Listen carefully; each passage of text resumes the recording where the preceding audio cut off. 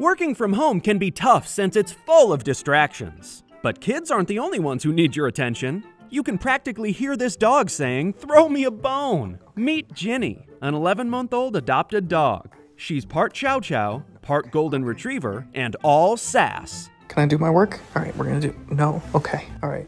Just one more time. No, okay, all right. Kevin P. Johnson found it hard to split his time between Excel spreadsheets and cuddles. The New Yorker is under lockdown and shared the video of his funny work from home experience.